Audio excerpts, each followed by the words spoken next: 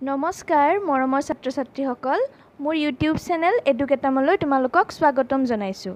আজি আমি ক্লাছ ছেভেনৰ text book Sunbeam English reader টুৰ থাৰ্ড লেচন যিটো আছে from the diary of Anne Frank তাৰ কুৱেশ্যন এনচাৰখিনি আলোচনা কৰিবলৈ লৈছোঁ।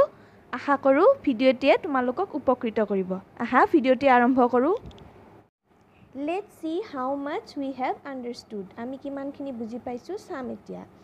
এ নম্বৰ কুৱেশ্যনটো আছে where was Anne Frank from N ফ্ৰেংকৰ ঘৰ ক'ত আছিল?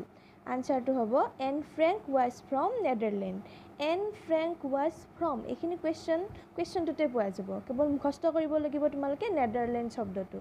নেডাৰলেণ্ড স্পেলিংটো মুখস্থ কৰি ল'ল। এন ফ্ৰেংকৰ ঘৰ নেডাৰলেণ্ডত আছিল। Next question how has the voice of Anne Frank reach out across continents and generations Anne ফ্ৰেংকৰ কণ্ঠ মহাদেশ আৰু প্ৰজন্মবোৰৰ মাজত কেনেদৰে বিয়পি পৰিছিল? কেনেদৰে বিয়পি পৰিছিল? আনচাৰটো হ'ব the voice of Anne Frank has reach out across continent and generations by her diary বাকীখিনি কুৱেশ্যনটোতে পোৱা যাব এইখিনি। The voice of Anne Frank has reach out across continents and generation তালৈ কুৱেশ্যনটোতে পোৱা যাব। মুখস্থ কৰিব লাগিব কেৱল বাই হাৰ ডায়েৰী এইটো মনত ৰাখিব লাগিব। এন ফ্ৰেংকৰ কণ্ঠ মহাদেশ আৰু প্ৰজন্মবোৰৰ মাজত তাইৰ ডায়েৰীখনেৰে বিয়পি পৰিছিল। তাই যিখন ডায়েৰী লিখিছিল সেইখন পঢ়ি মানুহে তাইৰ কথা জানিব পাৰিছিল। নেক্সট কুৱেশ্যনটো আছে what did Anne Frank see lying on the table among her other birthday presents জন্মদিনৰ অন্য উপহাৰসমূহৰ মাজত এন ফ্ৰেংকে মেজত বা টেবুলত আৰু কি দেখিছিল? জন্মদিনততো তাই বহুত উপহাৰ পাইছিল। সেই উপহাৰবিলাকৰ মাজত তাই আৰু কি দেখিছিল কি দেখিবলৈ পাইছিল?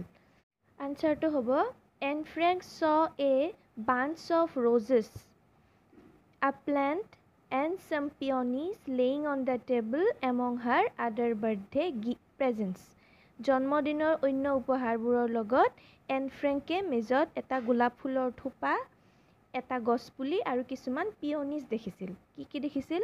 A bunch of roses a plants and some peonies কেইটা মনত ৰাখিব লাগিব। বাকীখিনি কুৱেশ্যনটোতে পোৱা যাব।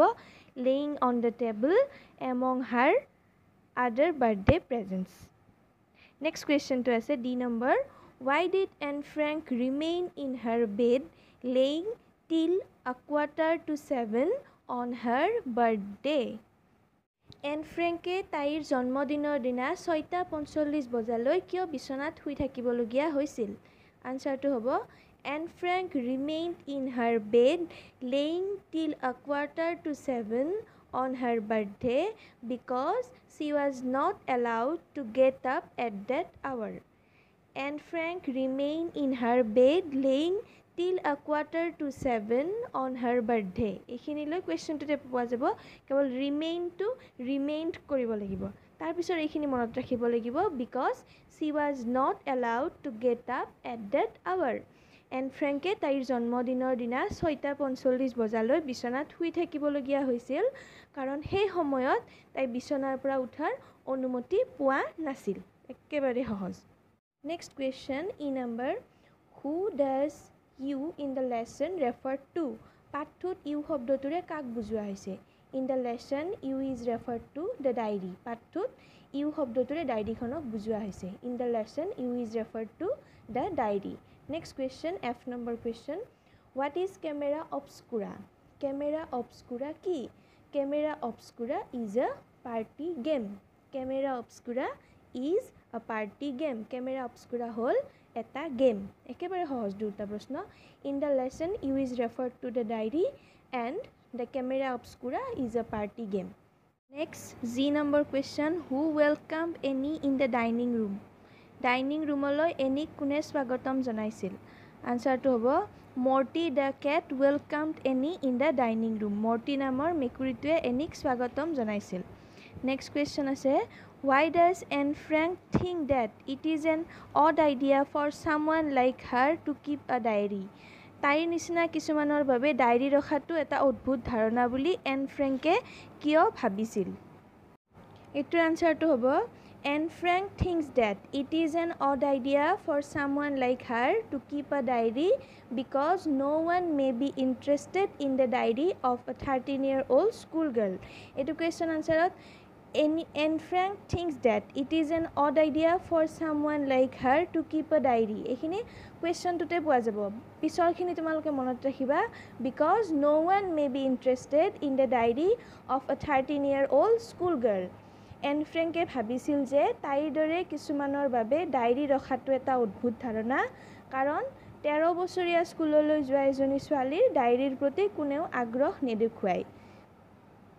নেক্সট কুৱেশ্যনটো আছে how does Anne Frank describe her feelings in one of her melancholy days এইটোৰ আনচাৰটো হ'ব। এইটো প্ৰশ্নটোত সুধিছে এন ফ্ৰেংকে তাইৰ এটা দুখৰ দিনৰ অনুভৱ কেনেদৰে বৰ্ণনা কৰিছে? তো আনচাৰটো হ'ব in one of her slightly melancholy days Anne Frank sat chin in hand and feeling too bored Anne ফ্ৰেংকে তাইৰ এটা দুখৰ দিনত থুতুৰিত হাত লগাই বহি আছিল আৰু বৰ বিৰক্তি অনুভৱ কৰিছিল। In one of her slightly melancholy days Anne Frank sat chin in hand and feeling too bored Anne ফ্ৰেংকে তাইৰ এটা দুখৰ দিনত থুতুৰিত হাত লগাই বহি আছিল আৰু বৰ বিৰক্তি অনুভৱ কৰিছিল। একেবাৰে লাষ্ট কুৱেশ্যনটো আছে এইবাৰ J number who's Kitty Kitty কোন? আমি জানো the name of the diary of Anne Frank is Kitty Anne ফ্ৰেংকৰ ডায়েৰীটোৰ নাম হ'ল কিট্টি কিট্টি হ'ল এন ফ্ৰেংকৰ ডায়েৰীটোৰ নাম।